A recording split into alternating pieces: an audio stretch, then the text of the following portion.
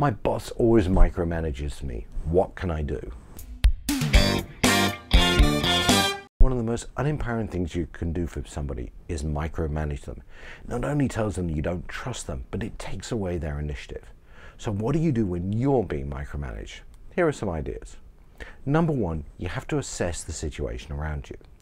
Micromanagement is often in the eye of the managed, and it may be relative. In other words, one person's micromanagement may be seen as just giving direction by somebody else. I guess if you ask your boss, they'd probably say they weren't micromanaging you. So, given that, you need to understand if it's the whole team that they get managed that way or whether it's just you. If it's the whole team, of course, then that's something about the management style of the boss. But if it's just you, then there's a different problem. But it could be one of many different problems. It just doesn't have to mean they don't trust you. And that's the conclusion most people draw. However, there may be other things. Have you performed badly? Did you do something wrong recently? Are they getting feedback from other people and other teams about the way you work? There may even be a really important project that they're right in the middle of, and they're just being paranoid about their own failure. Sometimes they just may even want to make sure you're successful, and they're trying to help you.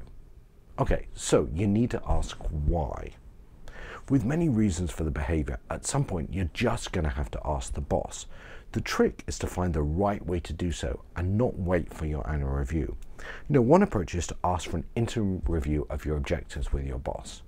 Don't start your monthly meeting with this, but work up to it. With plenty of time left in the meeting, request to discuss your objectives and the review of the progress of them. Don't be too defensive, but walk through what you've achieved and what is still open. Then ask open questions that let your boss say what's on their mind. For example, what else could I be doing? How else might I be more effective?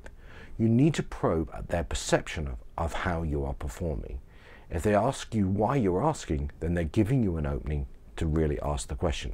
And frame your question carefully, but ask if you're worried about your if they're worried about your performance. You may have to express the feeling that you feel you're being micromanaged. Whatever you do, just don't start there. It looks very defensive. Okay, number three, living with the feedback. Most important thing with feedback is to listen and be open to what you hear. A good manager will give clear feedback and a chance to fix any problems that you might have. A bad manager will not give you clear feedback and may even leave you more confused than you started. Either way, they're giving you feedback and you need to understand and act on it. Rarely it's that they're a jerk or you're misunderstood, but that course might be true. Mostly you are failing and you need to overcome their bad perceptions and prove yourself to them.